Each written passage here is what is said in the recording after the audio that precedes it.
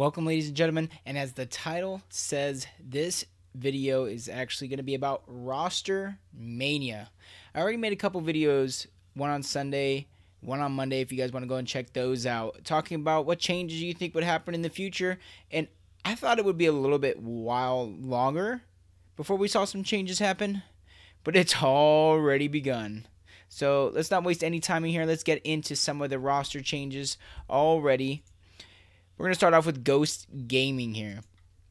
So Ghost Gaming had a phenomenal a phenomenal weekend at Mexico City. They placed third out of the open bracket. They literally only lost to Optic Gaming. Two matches, one in winners, one in losers, only to Optic Gaming. So they really, you know, they were really playing well. And it's really surprising to see them do a roster change. And the roster change that they had was they dropped Phenomenon.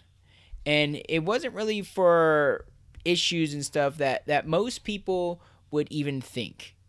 And I'm to pull up an image right here and it's basically the reason why he got dropped. This is hard for me to say, especially since we did so well. And personally, I like you on the team, but everyone else knew you came on as the, fifth man and was tr- wasn't truly comfortable with you as an individual. And they wanted to pick up someone else for the remainder of the season. It's not about your gameplay. It's not about your skill. It's about you as a person. It's more about vibes and personality. I want everyone on the team to be comfortable with each other and treat each other as family and be close friends. You are a dead ass, a great player, and I know you'll get a brawlic team.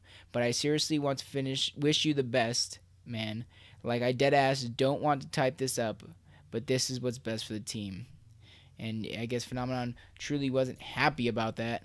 But I wonder who they're gonna pick up. It's a mystery as of right now. And just really want to wonder see already. I just want to fast forward and see who they're going to pick up.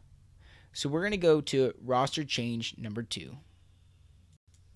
So roster change number 2 is one that surprised me, and you already see it's up there. It's Team Allegiance.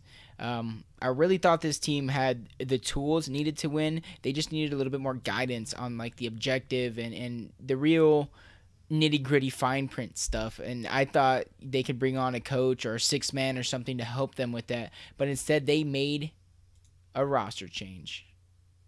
And that roster change, ladies and gentlemen, is actually going to be Yogurt.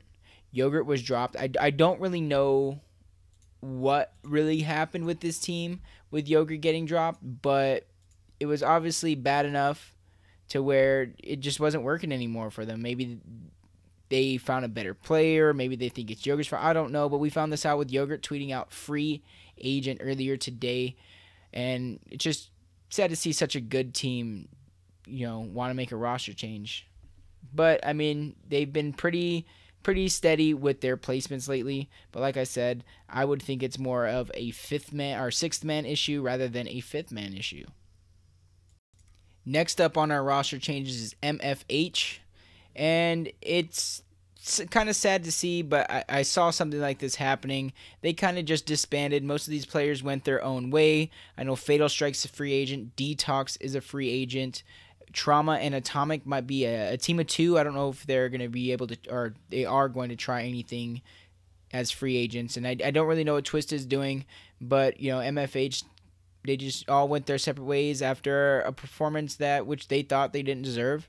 They thought they can do better as a team, and since they didn't, I understand them going their own way.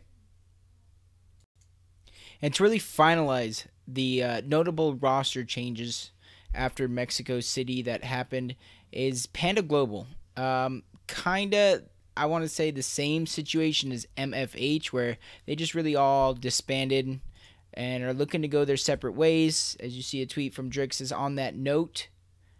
IMFA. And then you see it from Osby. He's just saying free. Shock says FA. No, I did not get dropped. Keeping my option opens. Please retweet.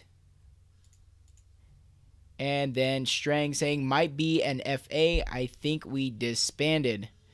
Um, didn't have anything come from Nasty's mouth regarding the situation via Twitter. All I know is it looks like they just disbanded, went their separate ways. Maybe, you know, like I said, another team that I think played really well at this event, actually. Um, tying in pool play, having a really close match against E6 for top 8, 7 6, 7 6, all coming down to round 13s just very disappointing performance, and, and I believe that would be the issue for them. They didn't want to stick together. Maybe they this one event they realized, hey, maybe we're just not for each other.